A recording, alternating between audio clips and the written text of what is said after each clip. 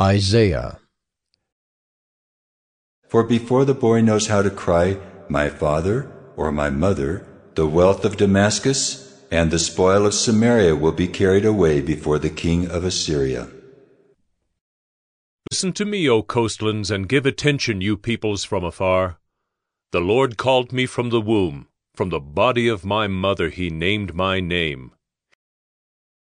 Kings shall be your foster fathers, and their queens your nursing mothers. With their faces to the ground they shall bow down to you and lick the dust of your feet. Then you will know that I am the Lord. Those who wait for me shall not be put to shame. Thus says the Lord, Where is your mother's certificate of divorce with which I sent her away? Or which of my creditors is it to whom I have sold you? Behold, for your iniquities you were sold, and for your transgressions your mother was sent away. As one whom his mother comforts, so I will comfort you. You shall be comforted in Jerusalem.